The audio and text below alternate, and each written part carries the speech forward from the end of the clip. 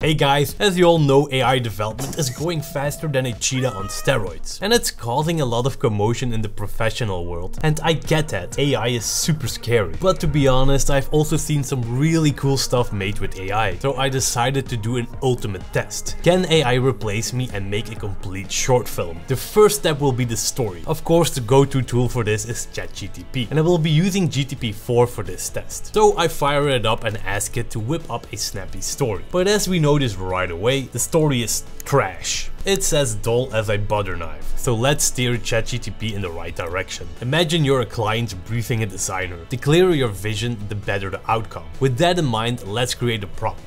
I've thrown in a team, AI infiltrating humans, but also some extra information like world domination, a group of hackers as the heroes, make it more engaging and so on. I'm gifting ChatGTP a roadmap, a vision. Now we wait as the AI conjures up a story, and with our help it's a lot better. So it's time for the next step, a storyboard and since I can't film a thing, I'm also going to ask for a set of text prompts to generate images for each shot. Again I create a super detailed prompt. I ask to describe each shot as detailed as possible, the lenses used, focal length, and of course to create the best Midjourney prompts possible. Once GTP is done, I ask for one more thing, to write me a voiceover text for the short video. It gives me a decent result, but in the end I decided to cut away a lot of this text to make it shorter and more dramatic. But I really had to hold his hand and guide it to a better story. Which brings me to the music part. When creating a short movie, I always choose the music in the beginning of my creation process. This will give me me a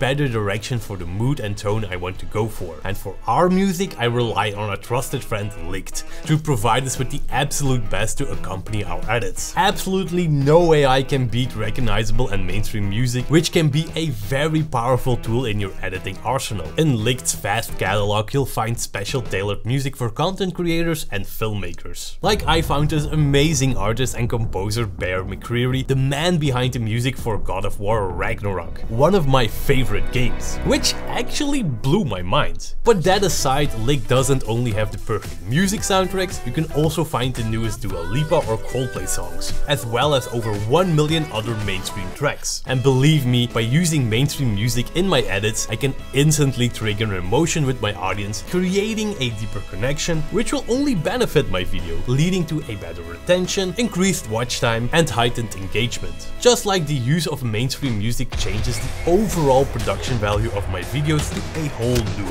level. And this all without worrying about being demonetized or copyright strikes. And I have Lickd to thank for that. Thanks buddy. So instead of wasting any more time, start enhancing your content today with mainstream music. And guess what? If you sign up right now, you'll receive an incredible discount including 14 days of free stock music and a whopping 50% off your first mainstream track. If you want to learn more about Lickd and how it can revolutionize your content content creation, check out the link in the description below.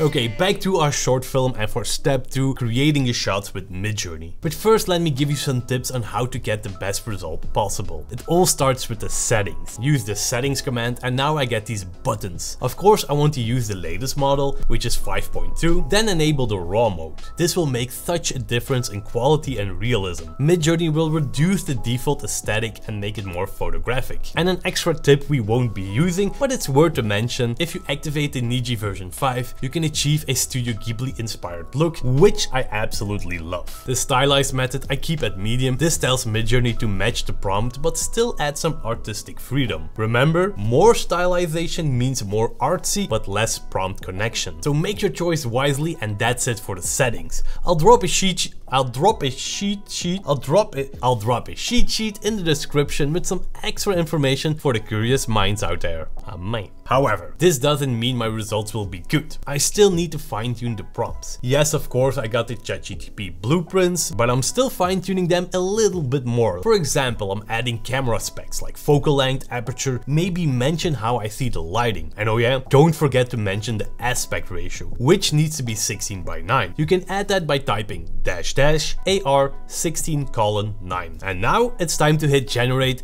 and see some magic. And I must say the results are stunning. Midjourney is getting better by the day. But what if I want to maintain a certain style between multiple images? Well, on a good image you can react with an envelope. Midjourney will now slide into your DMs with a whole bunch of extra information. But I just need the seed number, which I can use in future prompts to ensure consistent style generation. Just add dash dash, seed and the number for each prompt and voila, we have a reoccurring style result. Now generate every shot that you need and let's continue to the next step. Turning my images into video animations with Runway Gen 2. And yeah, I know this is a paying tool, but trust me, it's a game changer. Inside the image to video window, I can upload a starting image. And again, I need to adjust some settings. The interpolation needs to be switched off, just like the upscale button. The remove watermark can be switched on, obviously. Now hit generate and while you wait you can even whip up multiple tasks simultaneously. If you don't like a result, just do it again and regenerate the video.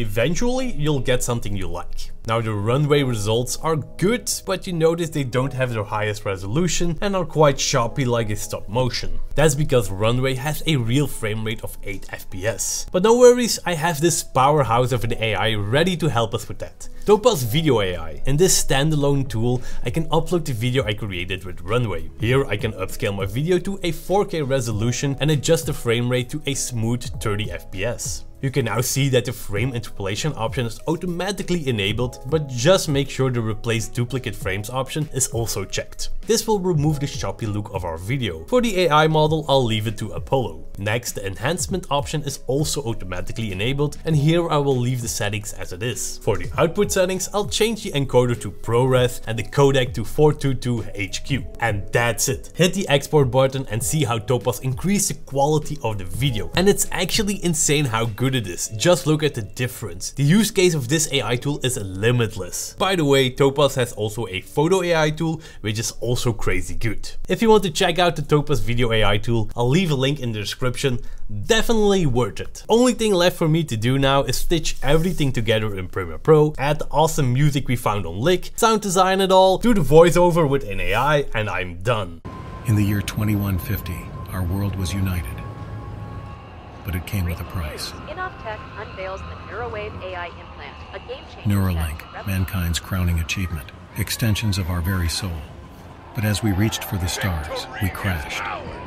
Leaders, heroes, loved ones, all taken over controlled by an AI. As Innovtech's Neurowave AI implant reportedly malfunctions, widespread riots, cities are on high alert, citizens trying to escape, world watching. Yet from the shadows emerged a beacon of hope. Their mission wasn't just personal, Sarah. it was the very soul of humanity. Their fight wasn't of this world, but their choices still had meaning. Rest now, Sarah. You are free. With the AI compromised, freedom was at hand.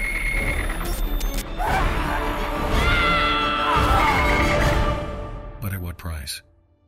A world saved, yet forever changed.